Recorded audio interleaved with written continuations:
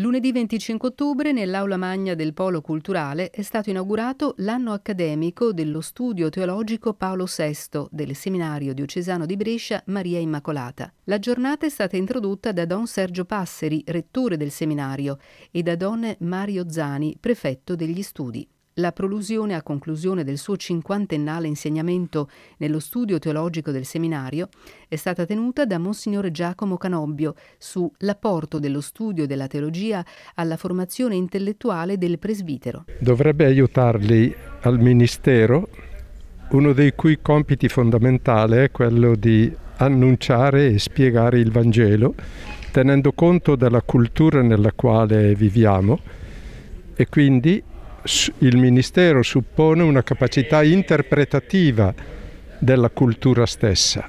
Studiando si capisce perché la cultura pone certi fenomeni, pone degli interrogativi e gli studenti si preparano a rispondere adeguatamente a questi interrogativi.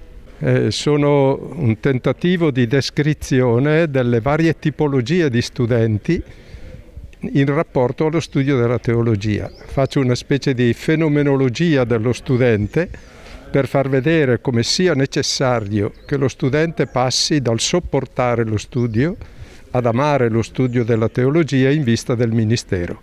Al termine è intervenuto anche Monsignor Pierantonio Tremolada.